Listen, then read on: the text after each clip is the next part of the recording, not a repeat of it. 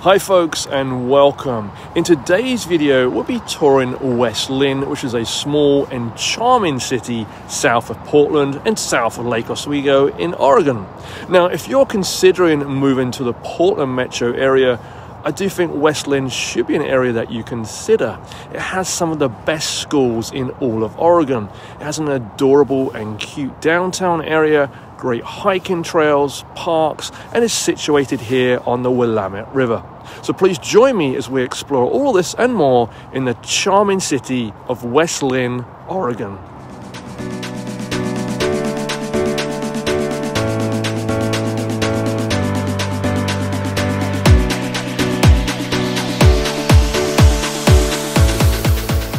Hello, I'm David Backholer and welcome to a very foggy morning in West Linn.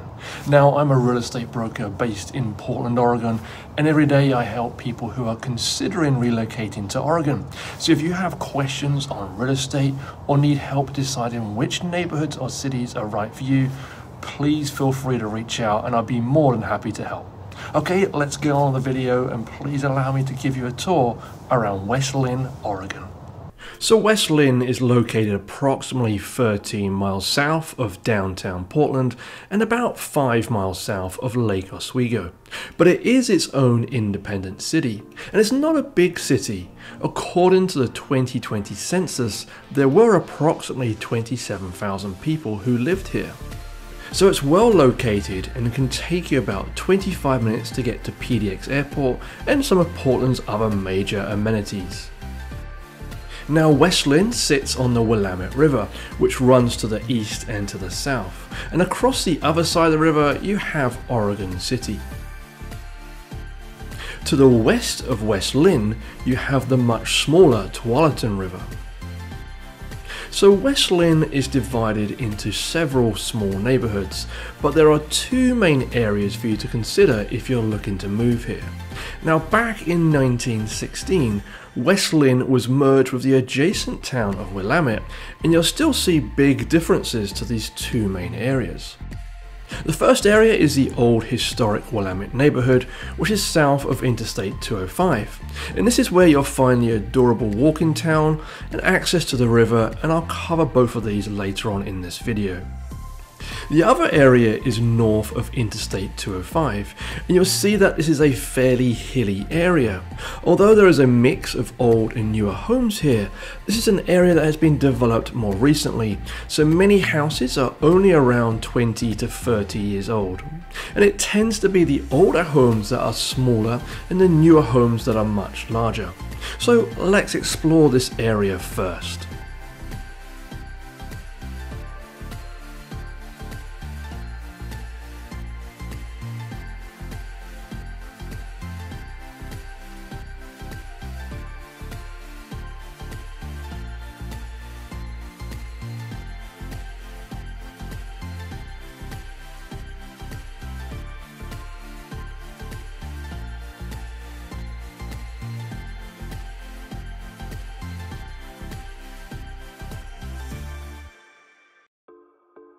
So also in the northeast section of West Linn, you'll find many parks, as well as walking trails, and one of the most well known is Wilderness Park, which is a 51 acre park in the east corner of West Linn.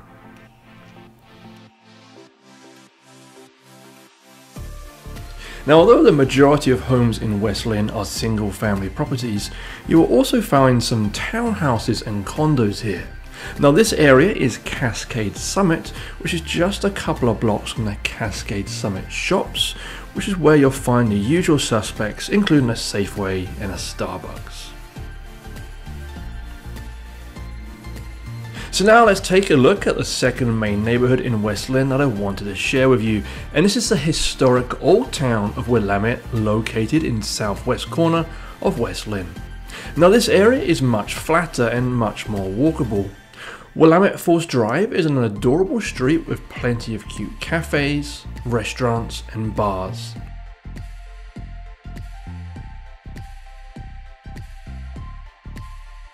And it's really clear that the town wanted to make this a place for people to walk and feel safe.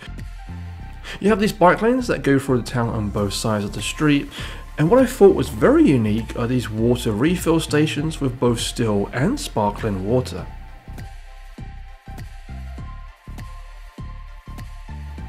Now at the western end of Willamette Falls Drive is Willamette Garage, which is a food cart pod with outdoor fire pits and plenty of outdoor seating. Now if you've not yet subscribed to my channel, please do so now. I release new videos every week so it's the best way for you to stay on top of the content. It also helps other people who are considering a move here find my content too.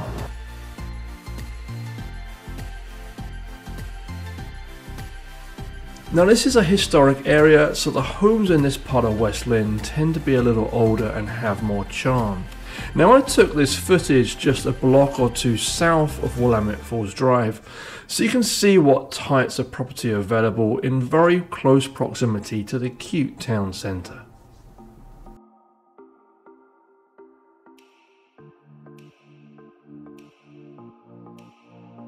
So a fun fact for you, in 2011 the city of West Linn was the top ranked Oregon city on the CNN Money Magazine's Best Places to Live list. It cited breathtaking views on the Cascades and relatively low local taxes. And lower taxes is a big appeal of the city. It's located in Clackamas County, which tends to have slightly more favorable taxes than Portland's Multnomah County. One of the big appeals of West Linn is the quality of the schools. And if schools are important to you, then this is definitely one of the better areas in the Portland metro area to consider. Now, according to greatschools.org, both Sunset Primary School and West Linn High School are very highly rated, and both received an overall rating of 9 out of 10. So the Willamette River runs through West Linn to the east and to the south. Now I'm currently standing in the Willamette Park, which is where the Tualatin River meets the Willamette River. Now this is a really popular park, especially in the summer, as you'll see people frequently launching their boats into the river here.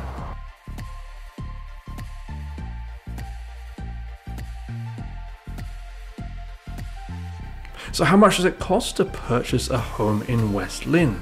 Well, townhouses and condos are going to be upwards of $300,000. Single family homes will start at around half a million dollars, but the larger 4,000 square foot homes will comfortably exceed a million dollars. Now, if I had to sum up West Linn the best I can, I'd say because of the very highly rated schools, parks, rivers, and a mix of small, medium, and large homes, it makes a great option for families. It's definitely a more affluent city too, and it does feel safe and well maintained. This downtown area is adorable, and I love the fact we've got these food trucks right behind me.